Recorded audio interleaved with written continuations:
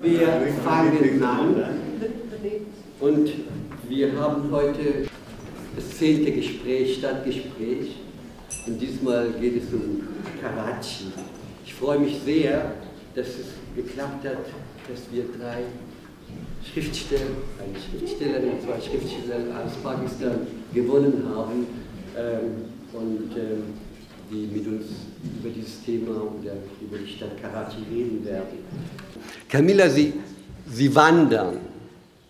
Sie sind in Karachi geboren, Ihre Familie lebt in Karachi, Sie leben selbst in London und haben auch in den Staaten studiert. Sie sind einmal hier und einmal dort. Und ich würde ganz gerne wissen, ähm, ein bisschen über Ihre, Ihre Wahrnehmung ähm, als eine, vor allem als eine Schriftstellerin natürlich, aber auch als eine Frau, die eben zwischen diesen Welten wandert. Primary thing that strikes me is because I lived for a long time in these three places. Uh, two of them were big cities, London and Karachi, and then I used to go and teach in a village in America. Um, and what does strike you is that there is a certain fellowship of big cities. Um, that the move from one big city to another is never as dramatic as the move from a mega city to a small village. Uh, that's the real culture shock. When I arrived there, the, the first things that strike me are, are very superficial things, such as I'm very tall when I'm here. Um, in Pakistan, I'm taller than most men, let alone most women. Um, so it, it's, it's those sort of of things. And, uh, you know, I mean, you mentioned being a woman, and you arrive at Karachi airport, and there's a separate desk at immigration for women, uh, so you get through much quicker than most of the men. Um, and there are those kinds of, of differences. One of the things I do notice because I'm away for 10 or 12 months at a time is how rapidly that city changes. Um, and that every time I go back, and it isn't true in the same way of other cities I know, like New York or Paris or even London, um, but Karachi, the pace of change uh, seems quite dramatic, and you, depending on what the political situation is, the mood of the city um, seems also to, to change a lot as you, as you move between it. Well, I don't think there's such a thing as a woman's perspective of Karachi because, um, you know, it's a city of 20 million or 25, who knows? So there are many different realities in there. Um, you are aware of being female in a way that you're not necessarily in other places, in as much as, you know, you um, there are lots of places I'll go into. If you try and get a driver license, for instance, and you walk into a room and the driving license office, um, and there will be three women to a hundred men, um, you're just aware of a lot more spaces where men are seen in the majority in a lot more public spaces, and that makes you aware um, of your femaleness. It does often mean you'll get pushed to the head of a line. Um, and I have a friend who was once in some official queue, which was almost all made up of men, and, and then a woman walked in and, went straight to the head of the line. And if there were 100 men, 99 said nothing. And, and one man said, I've been waiting here for two hours. Why do you get to go to the head of the line? And the woman turned around and said, This is Pakistan where women have no rights but many privileges.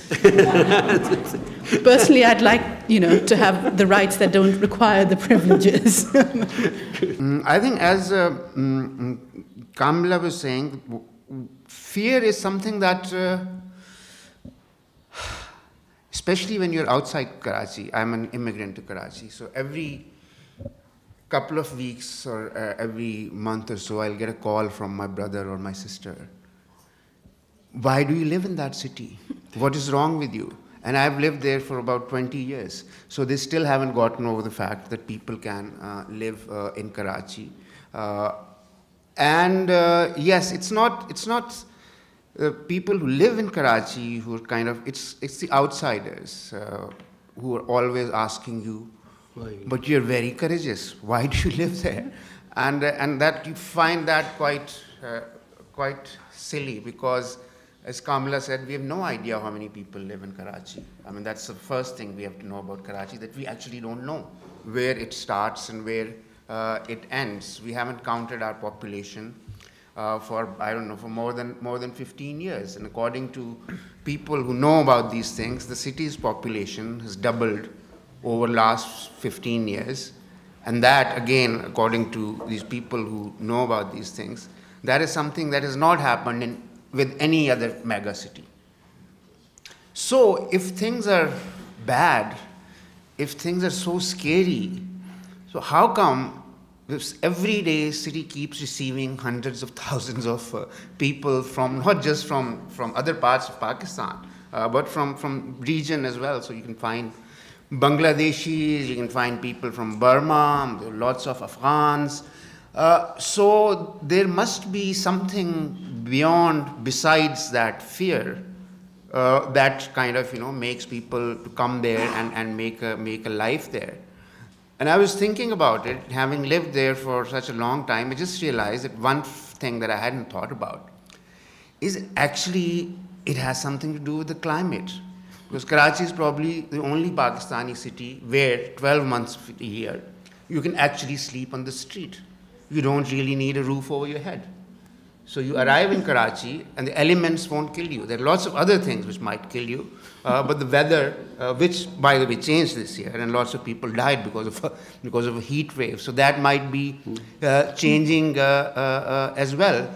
But like any other mega city, it has it has its chaos, but it has it has its welcoming aspects that you can you can arrive there and you can immediately uh, start uh, making uh, making a, living. I mean that's uh, that's something uh, which is quite basic and which is quite important.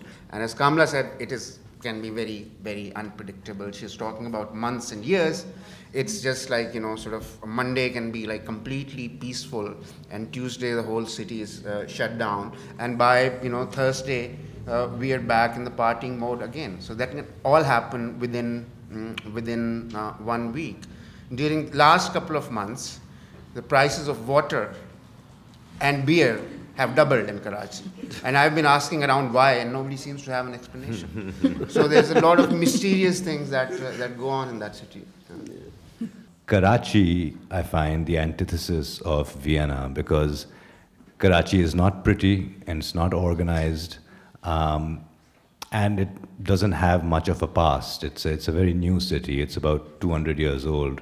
Um, but I think, like Kamila said, Karachi keeps changing every time. You know, every every few years, Karachi just the roads change. Um, I have relatives in a place called Federal B area, and uh, it's called Federal B area and I keep getting lost because there are new roads and there are underpasses and there are overpasses and and uh, there's construction.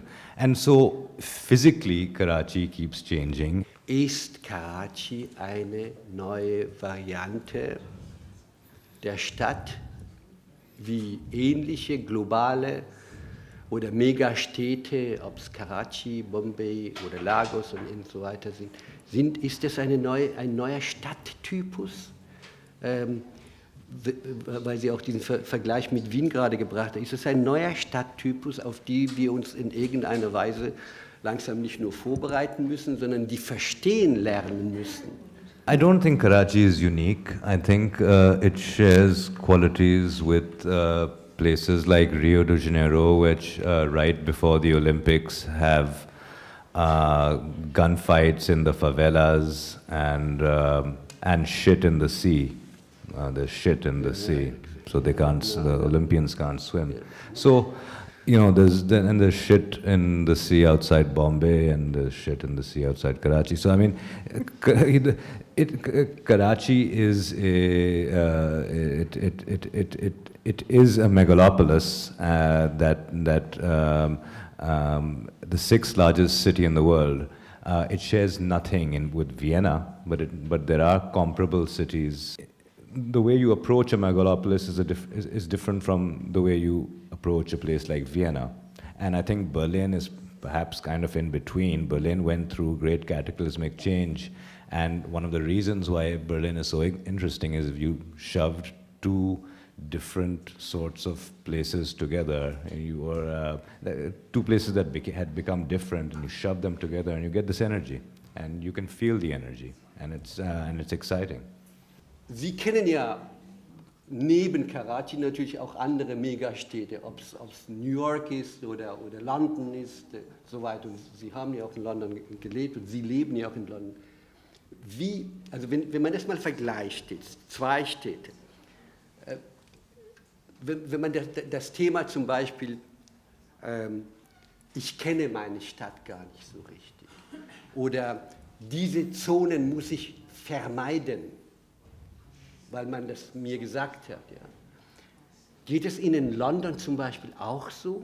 Haben Sie eine ähnliche, ein, ein, jetzt rede ich nur auf, ein, auf einer bestimmten Ebene, eine Struktur der Angst zum Beispiel, die allerdings anders gelagert ist.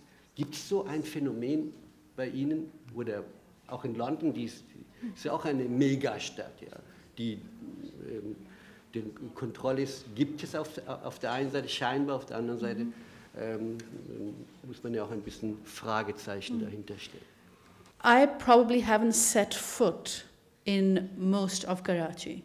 Um, and again, I mean, you know, Hanif's already mentioned the fact that no city has grown at that speed.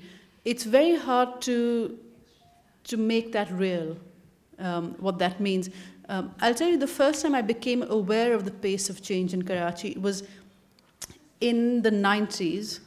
And keep in mind that Karachi has doubled in size since then. But in the 90s, I was looking at a map of Karachi that my father had, um, which was drawn up in the 60s or even the early 70s. Um, and I was looking at the map, and he came up and he said, he said, Do you see what is the center of Karachi in this map? is now south of the center of South Karachi. So that's the, the sort of level of, of change. Um, and, and partly it's, you know, to drive from one end of Karachi to another in that traffic, I don't know what it would take. There are also structures of fear. There are structures of class. Um, there is questions around gender. Um, certain parts of Karachi, I'd feel much more comfortable being dressed in a certain way um, as others. So, no, I, I wouldn't say by any stretch of the imagination that I know the whole city. Überhaupt möglich, als, als Schriftsteller ein, eine, die Komplexität einer Stadt in irgendeiner Form zu erfassen und aber auch, ähm, wie soll ich sagen, einer Stadt wie Karachi zu erfassen und auch in Form eines Romans ähm, wie soll ich sagen, umzusetzen und, zu, und auch zu beschreiben, zu erläutern? No, it's not possible, but one must try uh, with a certain knowledge that, uh, uh, that you will fail. Uh, but that does not mean that there are things about a city which do not fascinate you if you've kind of lived there for such a long time, if you breathe the air and and there are all these mm, people and stories around you. So you cannot help uh, but try and, and, and, and capture uh, uh, some of that. And I just want to go back to the question that you asked earlier, whether it's a new kind of megacity. So I haven't seen, mm, I haven't seen South American big cities, but I've seen some big cities. And I do think it's a new kind of uh, mm-hmm. a city because, because we don't know uh, where the city starts and where it ends. I used to think, and it was almost true, that nobody has seen the whole of Karachi. Now, nobody's even heard of the whole of Karachi. There are places that did not exist two years ago or one year ago. A friend of mine just got a job, an engineer friend of mine, and I said, Where is it? He said, Black Waters. Kala Pani. I said, Black Waters? Where is that? And why is it called Black Waters? He said, because it's so bloody far away, that's why it's called Blackwater. and so he has a job there in a place which I didn't even know, which he even didn't know uh, exists. One of the most dangerous uh, uh, neighborhoods in Karachi is known as Lyari. It's um, uh, for various uh, socio-cultural, socio-political reasons, uh, it has been ceded to gangsters. Um, I, after I finished Homeboy, uh, started conducting research for my second novel, and uh, parts of it um, are set in Lyari. I don't have a great imagination, so I have to actually uh, sort of uh, do my homework. And so I had I knew a couple of people in Lyari, and I'd say that could I can I come? Can I can I spend some time there? And they would say not this week. Uh, why don't you try next week? And then it was not this month, and then why don't you try next month? Because there would be gunfights, routine gunfights. mm. So during the World Cup, uh, my, my, my, my man finally called me up and said, actually, uh, the next few weeks, you can come anytime you want. Uh, it's, uh, there's, there's peace. So I said, why, how? Well, it's because Lyari produces uh, some of the great, greatest footballers in, in Pakistan. And, uh, and during the World Cup, the, the, the gangster who runs, who's said to run the, the, that area, he puts up these screens that are larger than this room, uh, 26 screens, uh, and every, at night it would be a party. And so there'd be beer on the streets and uh, gangsters watching football. There was, there was peace was declared. Lyari was transformed during this time, and it was, and yeah, I mean, one has there there are certain realities to Lyari, and uh, that need to be addressed. And there's also, uh, you know, to sound silly, uh, humanity in Lyari, and uh, you know, humanity uh, in in parts of the city that you don't expect. So. Again, yeah, I don't. you see, that's the thing. You call them gangsters. They call themselves community workers. That's the with guns. That's the difference. I mean, they really see yeah, themselves yeah. as doing basic social work that the government is not doing. you know, they're providing basic services. You know, security, housing, jobs. You know. Mm. Sure. Yeah. And the government has guns too. Yeah. it's not really a difference. I think a lot of it is more, far more explicable than people realize, I, you know, it's good to have a guru. Karachi has one. His name is Arif Hasan. Um, and if anyone actually is genuinely interested in the city, um, go and find his website. It's A-R-I-F-H-A-S-A-N. Um, he's an extraordinary font of knowledge on all kinds of things. Um, and when you sit and you talk to Arif Hasan, things make sense because he's bothered to find out. Um, you know, so a lot of the what looks random to us has its roots in economics, as most things do, and the struggle for economic power. Um, and within that, you have different and shifting alliances. Um, and a lot comes out of that. But, um, but go and read Arif Hasan. Yeah. Yeah, yeah, and his latest research uh, kind of, he was doing a small survey, which kind of uh, shows that divorces in Karachi are kind of, uh, divorce rate is going up. And the mm-hmm. reason for that is that women are becoming more uh, independent uh, economically, so they don't have to uh, stick around if they don't uh, want to.